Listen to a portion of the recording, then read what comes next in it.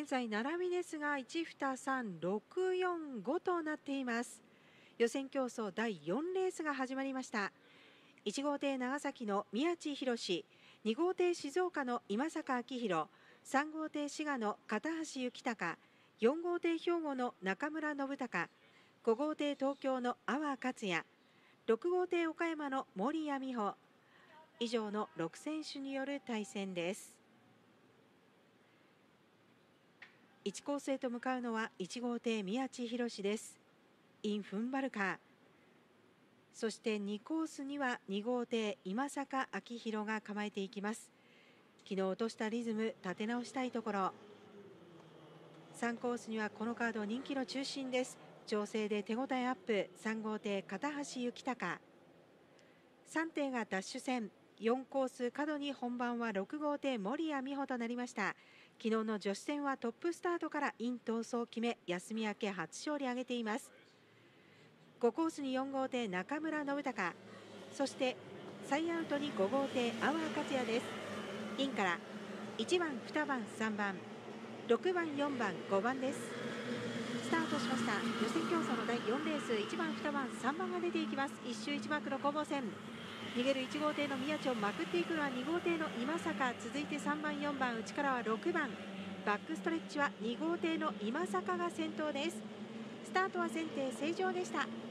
2号艇今坂がトップ。2番手は6号艇の守谷その後ろ3番5番が並んで2マークの旋回です。トップで2号艇の今坂。内を狙ってくる6号艇の守谷ですがここは2番手。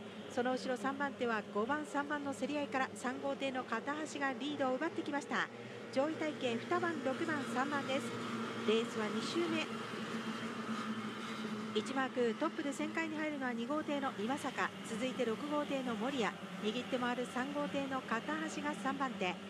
上位の3点は2番6番3番です。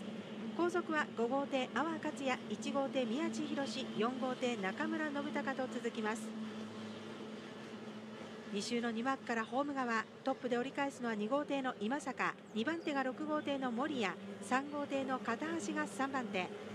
先頭から2番、6番、3番の体系レースは最終周回に入りました。予選競争の第4レース先頭を走るのは1周1マークまくっていきました。2号艇今坂明宏です。最後のバック。2番手は6号艇森谷美穂。3号艇の片橋幸隆が3番手。上位の体系は2番、6番、3番です。2633連単の津123.5倍を指しています。ラストターンマークの旋回です。